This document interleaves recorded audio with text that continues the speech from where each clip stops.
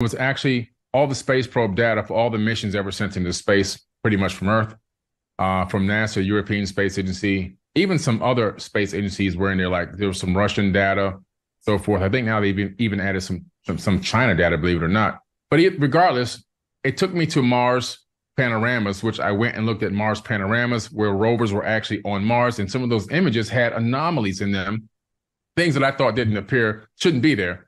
But what was really interesting was some of those anomalies had resemblances of megalithic stone structures here on Earth from ancient civilizations that I have been studying and even visited. And so that was like, wait a minute, could there be a connection between these anomalies on Mars and what I'm seeing on Earth?